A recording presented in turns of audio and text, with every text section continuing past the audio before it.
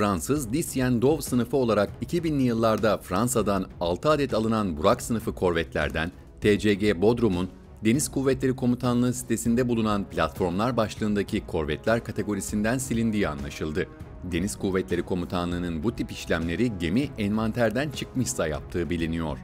Savunma Sanayi ST'nin haberine göre TCG Bodrum'un envanterden çıkartılmasıyla Türk donanmasında aktif olarak görev alan korvet sayısı 5'e düştü. Geçtiğimiz yıllarda bazı Burak sınıfı gemilerin modernizasyon sürecine sokulduğu ve eskiyen sistemlerin yerli sistemlerle değiştirildiği biliniyor. İlk olarak Fransız donanmasına hizmet eden ve 2000'li yılların başından itibaren Türk donanmasına katılan Burak sınıfı korvetler 41 ila 43 yaşındalar.